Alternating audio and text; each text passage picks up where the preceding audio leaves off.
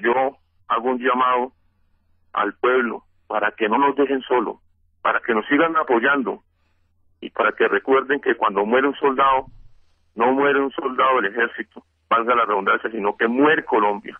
Cuando acaben con nuestro ejército, que lleva 200 años de historia y de gloria, van a acabar con el pueblo. Les suplico y les ruego que no nos dejen solos. Estamos perseguidos. Personalmente estoy perseguido.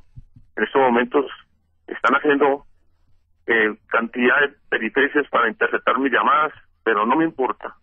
No me importa. Lo hago por mi gente, por mis hombres y por mi pueblo. Soy un patriota convencido, convencido, doctor, de que esta Colombia tiene futuro. Me da rabia.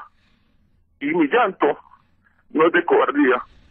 Mi llanto es porque me siento mucho de manos y pies, porque tengo toda voluntad de lucha, pero no me dan las herramientas para acabar con los bandidos. Me perdona, doctor.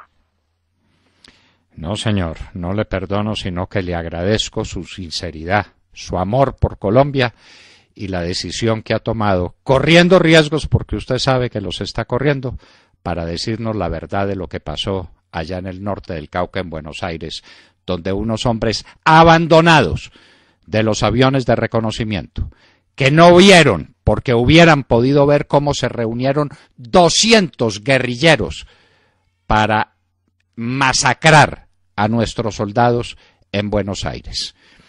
Pues usted nos ha dado una lección de patriotismo, una lección de amor por Colombia y tenga la certeza de que el pueblo colombiano está con ustedes y que no los abandonará y que esto va a cambiar y va a cambiar muy pronto, señor sargento, porque Colombia no puede perecer en manos de estos bandidos.